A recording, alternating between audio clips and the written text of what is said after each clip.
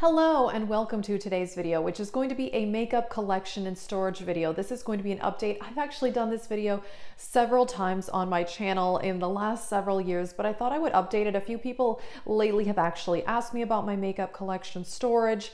Um, it is the same storage that I had at my last update, but I kind of rearranged some of the drawers and the top. I do have the Linnmon tabletop and the IKEA 5 drawers a lot of people have those, but honestly, I like them and they do work well for me. You've probably seen a lot of my makeup drawers in my Shop My Stash videos. I will link that playlist in the description box if you do want to see that. I have a lot of ranking videos, so if you want to see more details about my collection, like my blush, my palettes, highlighters, all of that. You can check that playlist out as well. I do want to do an updated palette collection, so stay tuned. That probably will be happening hopefully within the next couple of weeks. So yeah, I'm just gonna walk you through how I have everything organized and yeah, so let's just get into it. Alrighty, here is my vanity and I do have the generic IKEA Linnmon tabletop with the five drawers. But honestly, it is very functional and I've had it for four years. It has held up. I've moved with these drawers and it has held up. So I do find it functional. The only thing I don't like is that the drawers don't pull out all the way. But other than that, I have really enjoyed it and I do think that it is a nice kind of vanity setup. I'll start with what's on the tabletop and then I'll kind of go through their drawers. If you do want detailed videos, I have a ranking videos on my eyeshadow palettes, blush, highlighters, bronzers, all of that. So my ranking makeup playlist will be in the description box. And I do also plan on doing an updated eyeshadow palette collection this month. So hopefully within a couple of weeks. I use Q-tips pretty regularly to like clean up makeup mistakes. So that's why those are sitting here. And then these are eyeshadow palettes that I'm currently using. Like this is the Dose of Colors palette. This is in my Using My Eyeshadows Project Pan. And then I put my Pan That palette right here so that I know that I need to use it. So this just sits right there. This little plastic container here, um, setting sprays up there, primers, foundation, my liquid highlighter in here, more primer, contour stick, things like that. This is the concealer drawer, so all of that is concealer. I have ranked my concealers as well. This bottom drawer is very simple, essential products like mascara, eye primer, eyelash curler, brow products, and yeah. My makeup mirror is from Target and is by Revlon and it just kind of lights up like that. I've had this thing for I think six years and it still works great. This is the brushes I'm currently using. I do have other brushes in a drawer that I kind of keep because sometimes I change them out depending on the formulas I'm using. I do like to change out my brushes. I probably have about three times as many as what's in here, but these are the ones I'm currently using.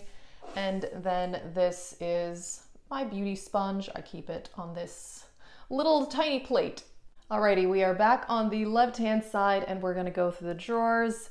Um, the first drawer is face powders. These are the ones I'm not currently using and then also sharpeners, face wipes in case I need that, my sponge tip applicators, which are crucial for me. Then the next drawer, this is all lip products. So we have lip glosses and lipsticks and then lip liners here. All right, then I'll just show you what's in the last three drawers over here. We have bronzers and contour products. Then we have blushes. The drawer underneath that is highlighters. And then the bottom drawer is some eyeshadow palettes that did not fit on the other side where most of the other eyeshadow palettes are.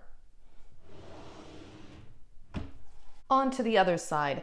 The first drawer is where I keep kind of everyday stuff that I'm using, such as my under eye powder, and then a lot of different things that are in project pans, the blush that I'm panning, um, more brow products just because I don't have that many.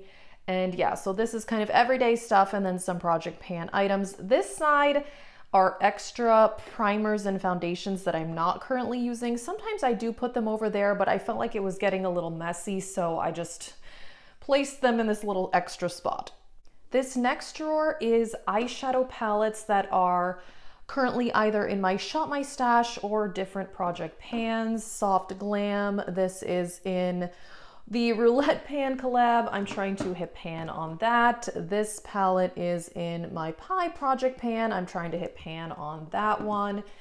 And then this is my newest eyeshadow palette. So it's just sitting here because I want to use it. This is the e.l.f. Retro Paradise. I've only used this once so far, but actually I was surprisingly impressed. Um, this Huda palette is in my Shop My Stash. So yeah, this is eyeshadow palettes that I'm either trying to hit pan on or just shopping my stash for. As I mentioned, the rest of these drawers are all eyeshadow palettes. And again, I do plan on doing an update video for that. This drawer is um, magnetic palettes, which are full of mostly single eyeshadows, but some depotted as well. Then we have Juvia's Place, BH Cosmetics. These are kind of these larger palettes that are a little bit more difficult to store. Also, this um, Bailey Sarian palette because that's the same size as the Juvia's, which is why they're in this drawer together. This drawer, again, more eyeshadow palettes, got some Urban Decay in there, Too Faced, Anastasia, and then over here are some smaller palettes. Alrighty, and the last drawer, again, more eyeshadow palettes. In here we have Zoeva. These are kind of grouped more by size and a little bit by brand. Colored Raine Queen of Hearts, one of my personal favorites. Um, this is one that I got on Black Friday, the Urban Decay Naked Honey palette. Actually, really enjoying this, quite beautiful. Um, my Milani palettes. And then over on this side are also some smaller palettes. Wet n Wild Comfort Zone palettes, the Smashbox ones, these are, this is the Punked, and then I also have the Ablaze. So yeah, these are mostly grouped by size and brand, just because I find it easier that way. Alrighty, that is it for my makeup collection and storage. I do find this very useful. I personally like the setup. I like having a larger tabletop also when I am getting ready. I do find it easier. In the past, I had a much smaller vanity and it was a bit clumsy getting ready, so it's just easier to kind of pull things out and have some space to work with.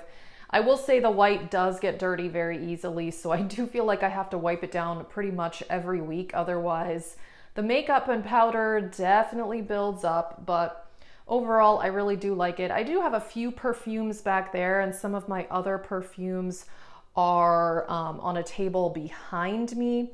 And also the chair that I sit in is the same chair that you see me sitting in when I'm filming, which is from Home Goods, by the way.